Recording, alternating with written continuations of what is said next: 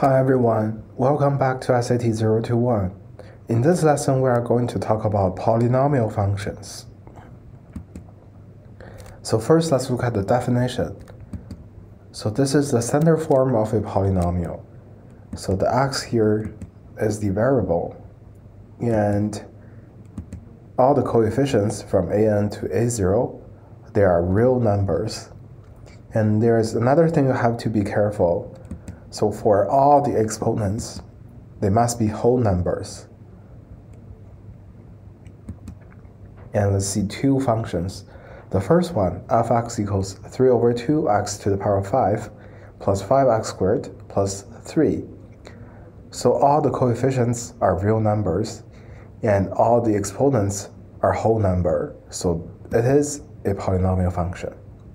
So for the second one, fx equals 4x to the power of 1 over 2 plus 5x to the power of negative 2 plus 3. So we can see that the exponents, there is one fraction, 1 over 2, and there is also a negative number, negative 2. So the second function is not a polynomial function. And now let's introduce the degree and leading coefficient. So still the standard form, written in descending order. So the degree of the polynomial is the greatest power of x, so that is the n here. And the leading coefficient is the coefficient of the greatest power term, so it is an here. And the a0 is our constant term. So let's see two examples. So fx equals 3 over 2x to the power of 5 plus 5x squared plus 3. So the greatest power is 5. So 5 is the degree of this polynomial. And the coefficient for the term is 3 over 2. So 3 over 2 is the leading coefficient. And for the second one, we can compare the two exponents. 6 is the greatest one. So the degree of the second polynomial is 6. And the coefficient for the term is 0.35. So 0.35 is the leading coefficient. Now let's see the graph of polynomial functions. So there are four scenarios. The first one, if the polynomial has a positive leading coefficient and odd degree, we may use a cubic function as an example.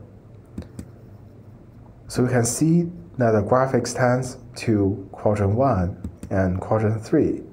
So that is the end behavior of this function. And for the domain, we can see that the graph extends to positive infinity and negative infinity. So x belongs to all real numbers. And for the range, we can also see that the graph extends to positive infinity and negative infinity. So y also belongs to all real numbers. And then we can see the possible x-intercepts. Suppose this is our x-axis, so there is only one x-intercept. And if we move up the x-axis a little bit, there are two x-intercepts. And then three x-intercepts and then back to two x-intercepts, and then one x-intercepts. So we can see that the minimum number of x-intercept is 1, and the maximum number of x-intercepts is 3. So the number of possible x-intercepts is from 1 to the degree of the function.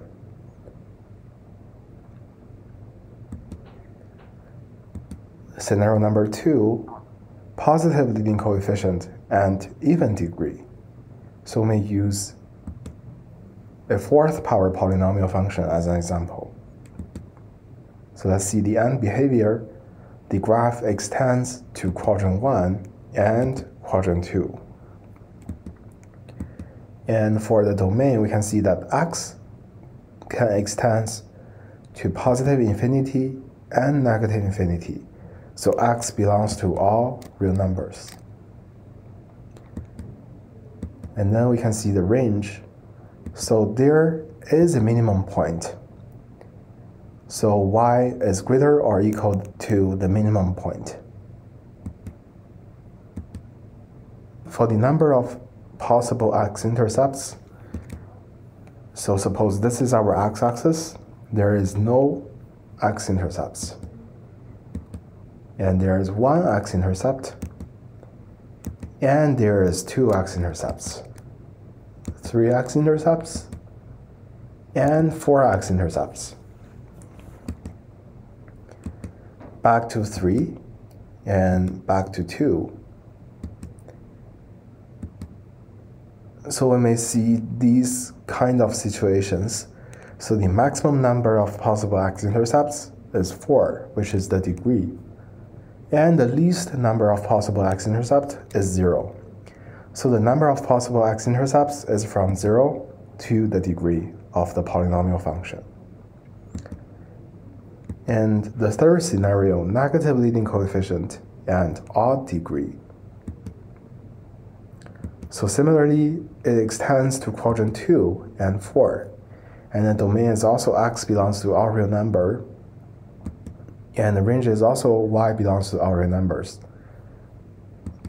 And the number of possible x-intercepts is also from 1 to the degree. The fourth scenario, negative leading coefficient and even degree. So the graph now opens downwards so the end behavior, the graph extends to quadrant 3 and 4, and the x still belongs to all real numbers. The range now is y is smaller or equal to the maximum number. And the number of possible x-intercepts is still from 0 to the degree. And let's summarize all the information in this table. And feel free to take a screenshot if you want.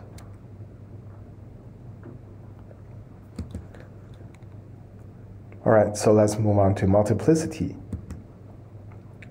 So multiplicity is the number of times a zero of polynomial function occurs. Suppose we have a polynomial function fx equals x to the power of 3, x minus 2, x plus 3 to the power of 2, x minus 4. So we can identify the multiplicity based on the exponents. So let's see the zero of this polynomial first. So we have 0, 2, negative 3, and 4. And now let's see their exponents. So for 0, the exponent is 3. So x equals 0 has a multiplicity of 3. And similarly for the 2, it has exponents of 1. So the multiplicity is 1. And for negative 3, the multiplicity is 2. And for the 4, the multiplicity is 1. So how does the multiplicity affect the graph of the function? So if the multiplicity is 1, the graph passes through the x-intercept directly. And if the root has a multiplicity of 2, the graph touch the x-intercept and then bounce back. And if the x-intercept has a multiplicity of 3, then the graph pass the x-intercept but flatten a little bit. Okay, so let's do one practice. So a polynomial px has three x-intercepts at negative 1, 0, 1, 0, and 2, 0. And the y-intercept of the polynomial is 0, 4. The graph below is the polynomial. Find the equation of the polynomial. So as we know the x-intercepts, we can write the function as fx equals a x minus negative 1 to the power of a number, x minus 1 to the power of a number, and x minus 2 to the power of a number. And now let's see the three roots there respectively. So for the negative 1, the graph touch the negative 1 and then bounce back. So x equals negative 1 has a multiplicity of 2. And for 1, 0, the graph passes through 1, 0, but flatten a little bit. So x equals 1 has a multiplicity of 3. And for x equals 2, the graph passes through 2, 0 directly. So x equals 2 has a multiplicity of 1. So let me simplify the function a little bit. So that is fx equals a x plus 1 squared, x minus 1 cubed, and x minus 2. And now let's try to find the a. So there is another information given. The y-intercept is 0, 4. So we can substitute x equals 0 and y equals 4 to the function. So 4 equals a, 0 plus 1 squared, 0 minus 1 cubed, 0 minus 2. So when we solve the equation, so a equals 2. So our polynomial is 2x plus 1 squared, x minus 1 cubed, x minus 2. And that's the end of this lesson. See you then.